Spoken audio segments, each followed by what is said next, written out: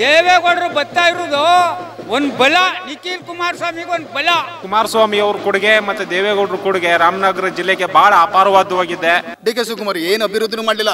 ಇಲ್ಲಿವರೆಗೆ ಅಲ್ಲೇನಾರ ಕೇಳಿದ್ರ ಆ ಭಾಗಕ್ಕೆ ಹೋಗಿ ಕಳ್ಳ ಕಳ್ಳ ಕಳ್ಳ ಅಂತಾನೆ ಹೇಳೋದು ಅವನ್ನ ಆ ಅನ್ನೋದ್ ಋಣನ ನಾವು ಅವ್ರ ಮೊಮ್ಮಗನಿಗೆ ಮತ ಹಾಕೋದ್ರ ಮುಖಾಂತರ ನಾವು ತೀರಿಸ್ತೀವಿ ಅಂತ ನಮ್ಮ ದೇವೇಗೌಡರಿಗೆ ಪರವಾಗಿ ನಾವು ಕೇಳ್ಕೊತೀವಿ ಯೋಗೇಶ್ ಅವನಲ್ಲ ಅವನು ಓಡ್ತಾ ಇರ್ಬೇಕು ಆ ಕಡೆ.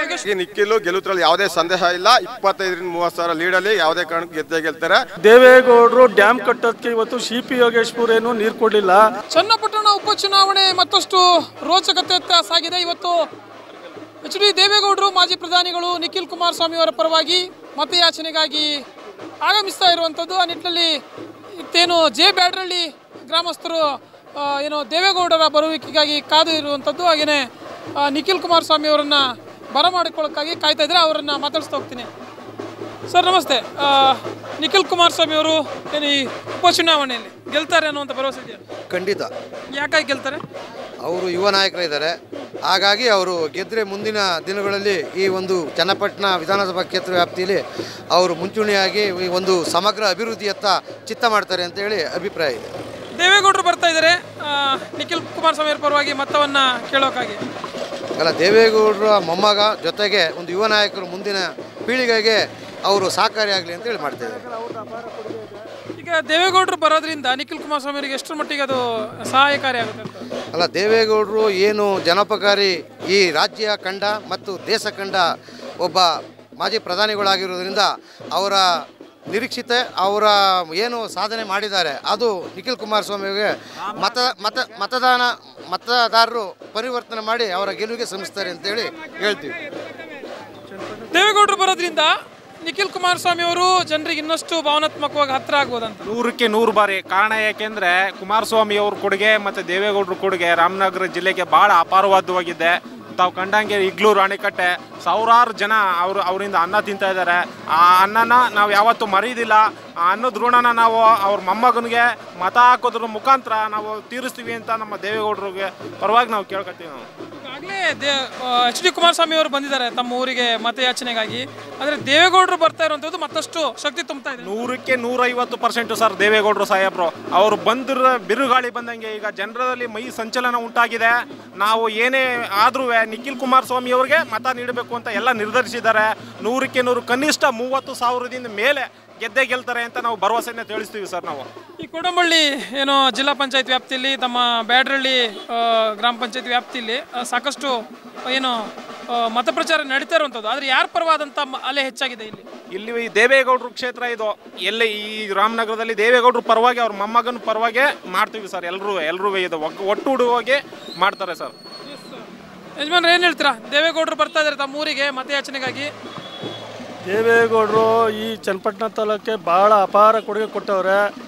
ಅವರು ಇವತ್ತು ಯಾರೋ ಹೇಳ್ತವ್ರೆ ಕಾಂಗ್ರೆಸ್ನವರು, ನಾವು ನೀರು ತಂದುಬಿಟ್ರು ಸಿ ಪಿ ಯೋಗೇಶ್ಪುರ್ ಅಂತ. ಇವತ್ತು ದೇವೇಗೌಡರು ಡ್ಯಾಮ್ ಕಟ್ಟೋದಕ್ಕೆ ಇವತ್ತು ಸಿ ಪಿ ಯೋಗೇಶ್ಪುರ್ ಏನು ನೀರು ಕೊಡಲಿಲ್ಲ.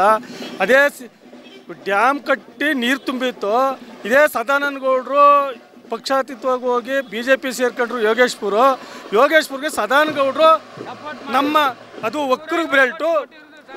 ಅಲ್ಲೆಲ್ಲ ಹಿಂದುಳಿದವರು ಎಲ್ಲ ಅವರು ಏನ್ಬಿಟ್ಟು ನೂರೈವತ್ತು ಕೋಟಿ ಗ್ರಾಂಟ್ ಕೊಟ್ಟರು ಅದರಿಂದ ಸಿ ಪಿ ಯೋಗೇಶ್ಪುರ ಇಲ್ಲಿಗೆಲ್ಲ ನೀರು ತುಗ್ತವ್ರು ಸಹಕಾರ ಇರೋದೇ ದೇವೇಗೌಡ್ರದ್ದು.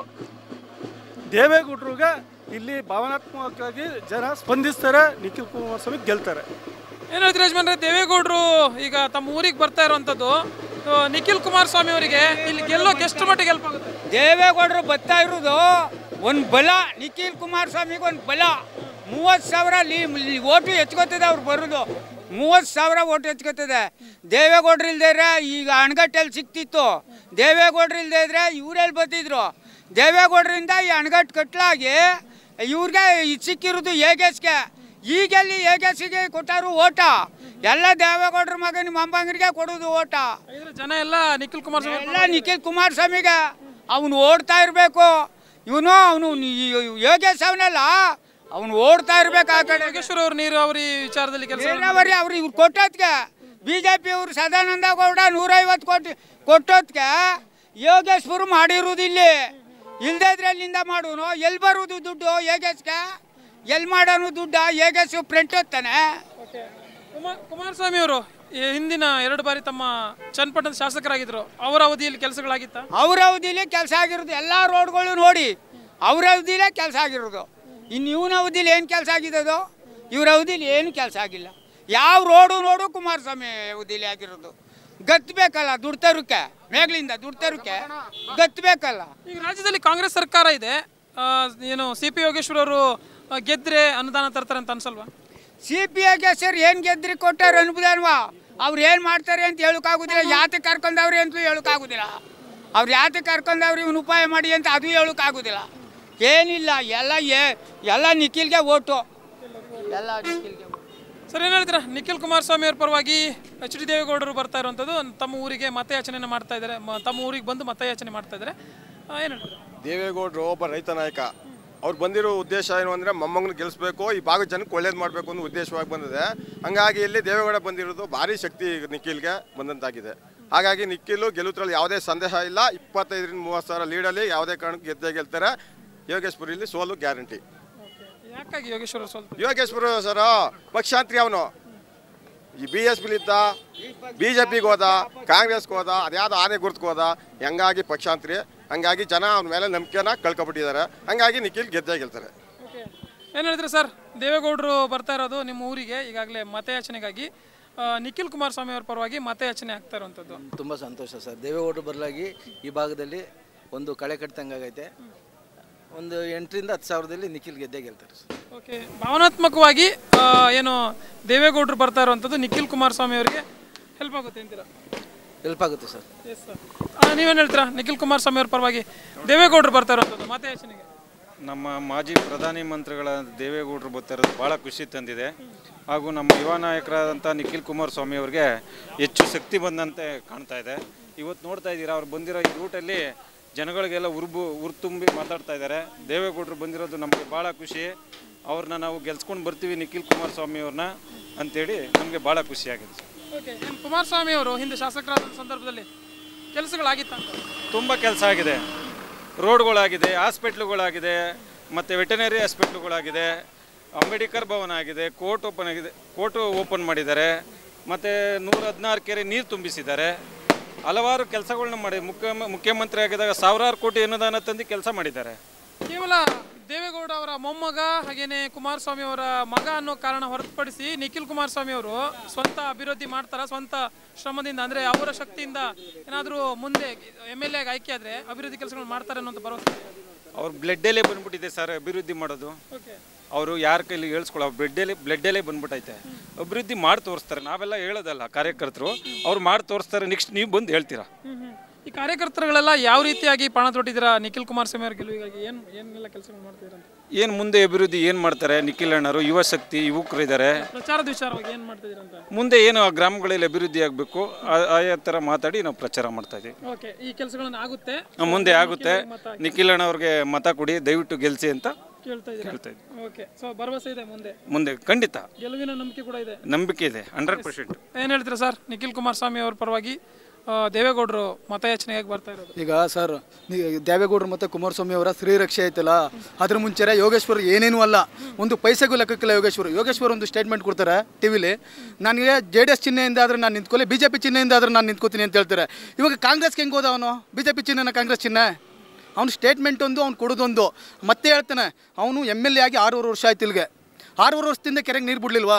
ಇವನು ಕೂಲಿ ಮಾಡೋನಷ್ಟೇ ನಮಗೇನು ನಮ್ಮ ಬಾಗ್ ನೀರೇನು ಬಿಡಲಿಲ್ಲ. ಇವ್ನು ಕೆಲಸ ಮಾಡಿರೋದಕ್ಕೆ ಕೂಲಿ ತೊಗೊಂಡವನ ಕಮಿಷನ್ನ. ಕಮಿಷನ್ ತೊಗೊಂಡು ನಮ್ಗೆ ನೀರಾವರಿ ಪೈಪ್ ಸೌಲಭ್ಯ ಮಾಡಿಕೊಟ್ಟಿರೋದು ಅಷ್ಟೇ ಇವನು. ನೀರು ಬಿಟ್ಟವನು ಅವನು ಅಷ್ಟೇ. ನೀವು ಹೇಳಿದ್ರಲ್ಲ ಕುಮಾರಣ್ಣನ ಒಂದು ಸಾರಿ ಅಕ್ಕೂರು ಹಾಸ್ಪಿಟ್ಲಿಗೆ ಹೋಗಿ ಬನ್ನಿ. ನಮ್ಮ ಇದಕ್ಕೆ ಅಕ್ಕೂರು ಹಾಸ್ಪಿಟ್ಲಿಗೆ ಹೋಗಿ ಬನ್ನಿ ನೀವು. ಕುಮಾರಣ್ಣ ಮಾಡಿಸಿರೋದು ಆಮೇಲೆ ಪ್ರತಿಯೊಂದು ರೋಡು ನೋಡಿ. ಪ್ರತಿಯೊಂದು ರೋಡು ನೋಡಿ ಡಿಗ್ರಿ ಕಾಲೇಜ್ಗೆ ಹೋಗಿ ನೋಡಿ, ತಿರುಪ ಗರ್ಲ್ಸ್ ಕಾಲೇಜ್ ಹತ್ರ ಹೋಗಿ ನೋಡಿ ಎಂತೆಂಥ ಕೆಲಸ ಮಾಡೋರಿ ಅಂತ ಕುಮಾರಣ್ಣವರು ಅದನ್ನು ಬಿಟ್ಬಿಟ್ಟು ಇವ್ನು ಬರೀ ಮಾತು ಮಾತು ಇತ್ತರಿಂದ ಹತ್ತಾಗ, ಹತ್ತಿಂದ ಇತ್ತಾಗ ಇವತ್ತು ಕೂಡ ಅವನ ಮೇಲೆ ಅಪೋದ ಇರೋದೇನೋ, ಐವತ್ತು ಕೋಟಿ ಇಸ್ಕೊಂಡು ಬಂದಿರೋದು, ಪ, ಕಾಂಗ್ರೆಸ್ಗೆ ಹೋಗಿರೋದು ಅವನು. ಈಗ ಹೇಳ್ತಾನೆ, ಇಲ್ಲಿದ್ದಾಗ ಒಂದು ಹೇಳೋದು, ಅಲ್ಲಿದ್ದಾಗ ಒಂದು ಹೇಳೋದು, ನಿನ್ನೆ ಒಂದು ವಾಯ್ಸ್ ರೆಕಾರ್ಡ್ ಮಾಡಿಬಿಟ್ಟವನೆ ಅವನದೆಲ್ಲ ಬರೀ ಬಂಡ್ ಮಾತು. ಅವನು ಯಾವ ಕಾರಣಕ್ಕೂ ನಮ್ಮ ಕ್ಷೇತ್ರದಿಂದ ನಮ್ಮ ಕ್ಷೇತ್ರದಿಂದ ಅವನ್ನ ಓಡಿಸ್ತೀವಿ. ಡಿ ಕೆ ಸುರೇಶ್ ಹಾಗೇನೆ ಡಿ ಕೆ ಶಿವಕುಮಾರ್ ಅವರು ಕೂಡ ಅವ್ರ ಪರ ಏನು ಸಿ ಪಿ ಯೋಗೇಶ್ವರ್ ಅವರ ಪರವಾಗಿ ಪ್ರಚಾರ ಮಾಡ್ತಿದ್ದಾರೆ. ಕಾಂಗ್ರೆಸ್ ಅಭ್ಯರ್ಥಿ ಮಾಡಲೇಬೇಕಾದಂಥ ಅನಿವಾರ್ಯತೆ ಮಾಡ್ತಾರೆ. ಸೊ ಆ ನಿಟ್ಟಿನಲ್ಲಿ ಈಗಾಗಲೇ ಸಾಕಷ್ಟು ಮತ ಪ್ರಚಾರ ಮಾಡಿದರೆ ಆಶ್ವಾಸನೆ ಕೂಡ ಕೊಟ್ಟಿದ್ದಾರೆ. ಸೊ ಅವರುಗಳು ಕಾರ್ಯರೂಪಕ್ಕೆ ತರ್ತಾರೆ ಅಂತ ಭರವಸೆ ಇಲ್ವ? ದಯವಿಟ್ಟಿಲ್ಲ. ಸರ್, ಇಲ್ಲಿ ಮೊದಲನೇದ ತಿಳ್ಕೊಳ್ಳಿ. ಏನು ಅಂದರೆ ಡಿ ಕೆ ಶಿವಕುಮಾರ್ ಪ್ರತಿ ಚನ್ನಪಣ್ಣಕ್ಕೆ ಬರದೇ ಪ್ರತಿ ಸಾರಿನೂ ಬರ್ತಾ ಇದ್ದ. ನಮ್ಮ ಸ್ವಾತಂತ್ರ್ಯ ದಿನಾಚರಣೆಗೆ ಬಂದು ಚನ್ನಪಣ್ಣದಲ್ಲಿ ಬಾವುಟ ಆರ್ಸವನ. ಅವನಿಗೆ ಇಲ್ಲಿ ಗೆಲ್ಲಕ್ಕಾಗದೇ ಇರೋದಕ್ಕೆ ತಾನೇ ಯೋಗೇಶ್ವರನ ಕರ್ಕೊಂಡದ್ದು? ಇಲ್ಲಿಂದ ನಮ್ಮ ಪ ಬಿ ಜೆ ಪಿ ಕಡೆಯಿಂದ, ಎನ್ ಡಿ ಎಯಿಂದ ಯೋಗೇಶ್ವರನ್ ಕರ್ಕೊಂಡದ್ದು. ಅಂಥದ್ರಲ್ಲಿ ಅವ್ನು ಗೆಲ್ಲುವಂಥದ್ದು ತಾಕತ್ತಿದ್ದಿದ್ರೆ ಹುಮ್ಮಸ್ಸಿದ್ದಿದ್ರೆ ಅವ್ನು ಯಾಕೆ ಮಾಡ್ತಿರಲ್ಲ ನಿಂತ್ಕೋತಿರಲ್ಲ ಅಥವಾ ಅವ್ನ ತಮ್ಮನ್ನ ಸೋಲ್ಸಿರುತ್ತಾನೆ? ಅವನೊಂದು ಸ್ಟೇಟ್ಮೆಂಟ್ ಕೊಡ್ತಾನೆ ಚನ್ನಪಣದಲ್ಲಿ ನನಗೆ ಹದಿನೈದು ಸಾವಿರ ಓಟಿದ್ದು ಎಂಬತ್ತೆಂಟು ಸಾವಿರ ಓಟ್ ಹಾಕವ್ರೆ, ನನ್ನನ್ನು ಗೆಲ್ಲಿಸ್ತಾರೆ, ನಾನೇ ನಿಂತ್ಕೋತೀನಿ ಇಲ್ಲಿ. ಅಂತ ಅಂದ್ಬಿಟ್ಟು ಒಂದು ಸ್ಟೇಟ್ಮೆಂಟ್ ಕೊಡ್ತಾನೆ. ಇಲ್ಲೆಲ್ಲ ಒಂದು ಗ್ರೌಂಡ್ ರಿಪೋರ್ಟ್ ತರಿಸ್ಕೊಂಡು ಹೋಗಿ ಅವ್ನ ಕೈಲಿ ಆಗದೆ ಇರೋದಕ್ಕೆ ಯೋಗೇಶ್ವರ್ಗೆ ದುಡ್ಡ ಕೊಟ್ಟು ಕರ್ಕೊಂಡಿರೋದು ಅವನು. ಅವ್ನು ಯಾವುದೇ ರೀತಿ ಆಶ್ವಾಸನೆ ಕೊಟ್ಟರು ಏನೂ ಆಗಲ್ಲ. ಎಲೆಕ್ಷನ್ ಅದೇ ಅದೇನ್ಬಿಟ್ಟು ಐನೂರು ಕೋಟಿ ಅನುದಾನ ತಂದಿವ್ನಿ, ಅದು ಮಾಡಿನಿ ಇದು ಮಾಡೀನಿ ಅಂತ ಹೇಳ್ತಾನೆ. ಎಲ್ಲಿಂದ ಸಾಧ್ಯ? ಯಾವ ಕಾರಣಕ್ಕೂ ಇಲ್ಲ. ಕೇಳಿ, ಇದನ್ನ ಹೇಳ್ತೀನಿ. ಕನಕಪುರ ಒಂದು ಲಕ್ಷದ ಮೂವತ್ತ್ಮೂರು ಸಾವಿರ ಎಂ ಎಲ್ ಎ ಓಟಲ್ಲಿ ಅವ್ರಿಗೆ ಲೀಡು. ಸಂಸದರ ಎಲೆಕ್ಷನಲ್ಲಿ ಇಪ್ಪತ್ತೈದು ಸಾವಿರ. ಅವ್ರ ಎದುರುಗಡೆ ಕುಮಾರಸ್ವಾಮಿ ಅವರು ಹೋಗಿ ಏನಾರ ನಿಂತ್ಕೊಂಡ್ರೆ ಎರಡು ಸಾವಿರ ಓಟೆಲ್ಗೆ ಗೆಲ್ಲುದಿಲ್ಲ ಅವನು. ಡಿ ಕೆ ಶಿವಕುಮಾರ್ ಏನು ಅಭಿವೃದ್ಧಿನೂ ಮಾಡಲಿಲ್ಲ. ಇಲ್ಲಿವರೆಗೆ ಅಲ್ಲೇನಾರ ಕೇಳಿದ್ರೆ ಆ ಭಾಗಕ್ಕೆ ಹೋಗಿ ಕಳ್ಳ ಕಳ್ಳ ಕಳ್ಳ ಅಂತಲೇ ಹೇಳೋದು ಅವನ್ನ ಅದನ್ನ ಬಿಟ್ರೆ ಇನ್ನೇನಿಲ್ಲ ಈ ಕುಮಾರಸ್ವಾಮಿ ಅವರು ಇರ್ಬೋದು, ಪ್ರತಿಯೊಂದು ವಿಷಯನೂ ಇರ್ಬೋದು. ಈಗ ನಮ್ಮ ಭಾಗದಲ್ಲಿ ಒಂದು ಅವಕ ಇನ್ನೊಂದು ಆರು ತಿಂಗಳು ಮುಖ್ಯಮಂತ್ರಿ ಆಗಿದ್ರೆ ನಮಗೆ ಮೆಡಿಕಲ್ ಕಾಲೇಜ್ ಕೊಡೋರು ರಾಮನಗರ. ಈಗ ಆಲ್ರೆಡಿ ಇಂಜಿನಿಯರಿಂಗ್ ಕಾಲೇಜ್ ಇದೆ. ಪ್ರತಿಯೊಬ್ಬ ಬಡ ಮಕ್ಕಳಿಗೆ ಎಂತೆಂಥ ಸೌಲಭ್ಯ ಮಾಡಿಕೊಟ್ಟವ್ರೆ? ಇಂಜಿನಿಯರಿಂಗ್ ಕಾಲೇಜ್ಗೆ ನಾವು ಹೋಗ್ಬೇಕು ಅಂತಿದ್ದಿದ್ರೆ ಇಲ್ಲ ಮಂಡಿ ಹೋಗ್ಬೇಕಾಗಿತ್ತು, ಇಲ್ಲ ಬಿಡದಿಗೆ ಹೋಗಬೇಕಾಗಿತ್ತು, ಇಲ್ಲಿ ಗೌರ್ಮೆಂಟ್ ಕಾಲೇಜು ಫೀಸ್ ಎಷ್ಟು? ಐದು ಸಾವಿರ. ಇಂಥ ಅವಕಾಶ ಎಲ್ಲ ಮಾಡಿಕೊಟ್ಟವ್ರೆ. ಈ ಎಜುಕೇಷನ್ ಮೆಡಿಕಲ್ ಕಾಲೇಜ್ ತಂದು ಇಡೋರಲ್ಲ, ಎಂಥ ಅವಕಾಶ ಇತ್ತು? ಆರೇ, ಬರೀ ಆರೇ ತಿಂಗಳಿದ್ದಿದ್ರೆ ಇವ್ರು ಏನೇನೋ ಮಾಡಿ, ಕಿರಿಕ್ ಮಾಡಿ ಅವ್ರನ್ನ ತೆಗೆದುಬಿಟ್ರು. ಅದನ್ನ ಬಿಟ್ಟರೆ ಡಿ ಕೆ ಶಿವಕುಮಾರ್ ಏನು ಮಾಡಿದ್ದಾರೆ ಈಗ ಉಪಮುಖ್ಯಮಂತ್ರಿ ಏನು ಮಾಡಿದ್ದಾರೆ ಹೇಳಿ? ಏನೂ ಮಾಡಲಿಲ್ಲ. ಬರೀ ಅವ್ರಿಗೆ ಸಂಬಂಧಪಟ್ಟದ ಕೆಲಸಗಳು ಏನಾರ ಇದಾವೋ ಅದನ್ನ ಬಿಗಿ ಭದ್ರತೆ ಮಾಡಿಸ್ಕೊತವ್ರೆ. ಮೊದಲನೇದೇನು ಅಂದರೆ ಅವ್ರ ಕೆಲ ಗೆಲ್ಲಕ್ಕಾಗದೇ ಇರೋದಕ್ಕೆ ಚನ್ನಪಣ್ಣದಲ್ಲಿ ಯೋಗೇಶ್ವರನವ್ರ ದುಡ್ಡು ಕೊಟ್ಟು ಕರ್ಕೊಂಡು ಅವ್ರು ಕ್ಯಾಂಡಿಡೇಟ್ ಮಾಡ್ಕೊಂಡವ್ರೆ. ಅಷ್ಟೇ ಅದನ್ನ ಇನ್ನು ಬೇರೆ ಇನ್ನೇನಿಲ್ಲ ಸರ್. ರಾಜ್ಯದಲ್ಲಿ ಕಾಂಗ್ರೆಸ್ ಸರ್ಕಾರ ಇರೋದು, ಆ ದೃಷ್ಟಿಯಿಂದ ನೋಡೋಕೆ ಹೋದರೆ ಎಲ್ಲೋ ಒಂದು ಕಡೆ ಜನ ಸರ್ಕಾರದ ಪರವಾದಂಥ ಒಬ್ಬ ಶಾಸಕ ಆಯ್ಕೆ ಆಗಲಿ ಅಂತ ಬಯಸಲ್ವಾ ಅಂತ? ಇಲ್ಲ ಸರ್ ಇಲ್ಲ. ಆ ಥರ ಆ ಥರ ಇದ್ದಿದ್ದಿದ್ರೆ ಎಲ್ಲಿ ಸರ್ ಜನ? ಹಾಗಾಗಿ ಸರ್ ಸರ್ಕಾರ ಜನಪರವಾಗಿ ಕೆಲಸ ಈಗ ನೀವು ನೀವು ಜನಪರವಾಗಿ ಕೆಲಸ ಮಾಡ್ತಿಲ್ಲ ಇಲ್ಲ ಸರ್ ನೀವೇ ನೋಡ್ತಾ ಇದ್ರಿ ನಮ್ಮ ಏನು ಜಮೀನ್ ಇದೆಯೋ ಅದ ವಾಕ್ ಅಂದ್ಬಿಟ್ಟು ಏನೋ ಕೊಡ್ತಾ ಇದ್ದಾರೆ. ಹಾಂ ವಾಕ್ ಬೋರ್ಡ್ಗೆ ಅಂದ್ಬಿಟ್ಟು. ಅದು ಎಷ್ಟು ರೀತಿ ಸರಿ? ಯಾವ ರೀತಿ ಸರಿ ನೀವು ಹೇಳಿ? ನೀವೇ ತೋರಿಸಿರೋದ ಆ ಥರ ಆದರೆ ಇಲ್ಲಿ ನಮಗೆಲ್ಲಿ ನಮಗೆ ನಾವು ಉಳ್ಕೋದ್ ಬೇಡವಾ? ನಮ್ಮ ಜಮೀನ ಕಿತ್ಕೊಂಡು ಯಾವುದೋ ವಾಕ್ ಬೋರ್ಡು ಎಲ್ಲಿಗೋ ಕೊಟ್ಟರೆ ಎಲ್ಲಿಂದ ಅದು. ಎಲ್ಲಿ ಯಾವ್ದಾರ ಆಗಲಿ ನಮ್ಮ ಜಮೀನು ನಮ್ಗೆ ಸಂಬಂಧಪಟ್ಟದ್ದೆ ತಾನೆ ಸರ್ ಅದು. ಇವಾಗ ಆಲ್ರೆಡಿ ಉತ್ತರ ಕರ್ನಾಟಕ ಎಲ್ಲ ನಡೀತಾ ಇತ್ತೆ ಅದರಿಂದ ಎಲ್ಲಿಂದ ಜನ ಜನಪರವಾಗಿದ್ದರು ಈಗ ಏನಾಗಿದೆ ಸರ್ ಇಲ್ಲೆಲ್ಲ ಎರಡು ಸಾವಿರ ಕೊಡ್ತೀನಿ ಅಂತಾರೆ. ಈಗ ಎರಡು ಸಾವಿರ ಕೊಡ್ತಾರೆ. ಇವಾಗ ಆ್ಯಕ್ಚುಲಿ ನಾನು ಒಬ್ಬ ರೈತ. ಇವಾಗ ನಾನು ಟಿ ಸಿ ತಗೋಕ್ಕೆ ಮೂರು ವರ್ಷದಿಂದ ಟ್ರೈ ಮಾಡ್ತಿದ್ದೀನಿ ನಾನು ಬೋರ್ ಹಾಕ್ಸಿ ಎರಡು ವರ್ಷ ಆಯಿತು. ಇವರು ಇವ್ರು ಬಂದ ಮೇಲೆ ಸರ್ಕಾರ ಮೇಲೆ ಕಿತ್ಕೊಂಡ್ರು. ಈಗ ಹಾಂ ಈಗ ಈಗ ಅದನ್ನು ತಗೊಳಕ್ಕೆ ನಾನು ಮಿನಿಮಮ್ ಒಂದು ಒಂದೂವರೆ ವರ್ಷದಿಂದ ಟ್ರೈ ಮಾಡ್ತಿದ್ದೀನಿ ಇನ್ನೂ ಬರಲಿಲ್ಲ ಇನ್ನೂ ಬರಲಿಲ್ಲ. ಹಳೆವೇ ಆಗಬೇಕು. ಇರಪ್ಪ ಇರಪ್ಪ ಅಂತ ಹೇಳ್ತವ್ರೆ. ನಾವೇನು ಮಾಡೋದು ಹೋಗಿ? ಎರಡು ಸಾವಿರ ಅಂದರೆ ಲೆಕ್ಕ ಹಾಕೊಳ್ಳಿ ಇವಾಗ ನಮ್ಮ ಮನೇಲಿ ಒಂದು ಒಬ್ಬರು ಹೆಂಗಸರಿಗೆ ಎರಡು ಸಾವಿರ ಬಂದರೆ ನಾನು ಅಲ್ಲಿ ಮೂರು ಲಕ್ಷ ಕಟ್ತೀನಲ್ಲ. ಅದೆಲ್ಲೋಗುತ್ತೆ ಸರ್? ಮೂರು ಲಕ್ಷ ಎಷ್ಟು ದಿನ ಕೊಡ್ಬೋದು? ಸರ್ಕಾರದ ಮೇಲೆ ನಂಬಿಕೆ ಇಲ್ಲ. ಒಂದು ಚೂರು ಇಲ್ಲ ಸರ್. ನಯ ಒಂದು ನಯ ಪೈಸನೂ ಇಲ್ಲ ಸರ್. ಎಸ್ ವೀಕ್ಷಕರೇ ನೂರ ಮೂವತ್ತಾರು ಸ್ಥಾನಗಳನ್ನು ಗಳಿಸಿದರೂ ಕೂಡ ಡಿ ಕೆ ಶಿವಕುಮಾರ್ ಅವರು ಮುಖ್ಯಮಂತ್ರಿ ಆಗಕ್ಕಾಗಿಲ್ಲ.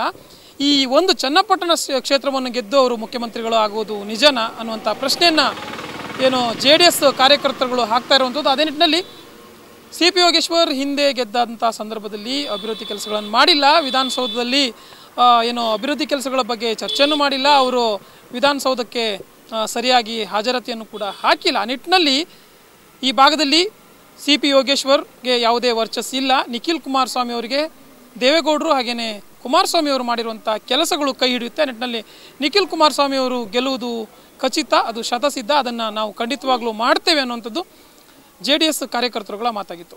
ಕ್ಯಾಮ್ರಾ ಪರ್ಸನ್ ಉಲ್ಲಾಸ್ ಜೊತೆ ಜಾಯ್ ಲೈಗೌಡ್ ಕರ್ನಾಟಕ ಟಿವಿ, ಚನ್ನಪಟ್ಟಣ.